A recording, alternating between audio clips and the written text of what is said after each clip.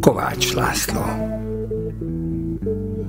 Az utcánk legcsintalanabb gyereke.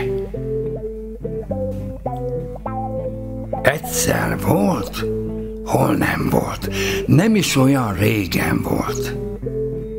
Amikor az utcánk legcsintalanabb gyereke újabb csintevéseket tervezett.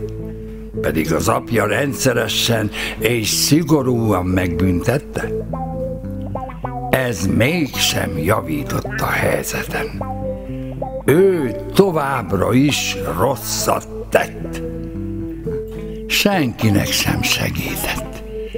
Az iskolát is elkerülte de végül, de végül a kakasztaréja beleesett a fazékba, mert támadt egy olyan ötlete, hogy szakács lesz belőle.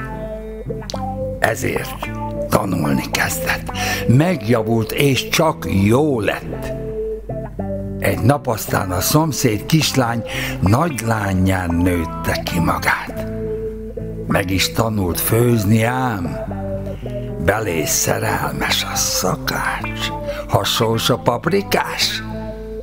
Mindenkinek készít finom vacsorát, és senki sem emlékszik már, hogy valamikor ő lehetett az utcánk legcsintalanabb gyereke. Narátor Kovács Antal